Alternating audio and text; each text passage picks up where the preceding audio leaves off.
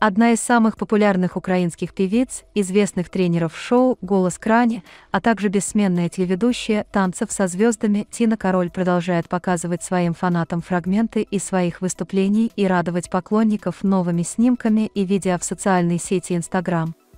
Кстати, ее аккаунт также не теряет популярности, за ней наблюдает практически 2 миллиона подписчиков. Кроме этого, исполнительница хитовых песен имеет множество фан-страниц в различных социальных сетях. Там ее фанаты обнародуют фотографии со своей любимицей и делятся видео. Наибольшим фан-клубом певицы уже больше артистки уже на протяжении 15 лет является Фантина. Там собраны около 300 тысяч фанов творчества Тины. Основатель группы Дарья Фишбен.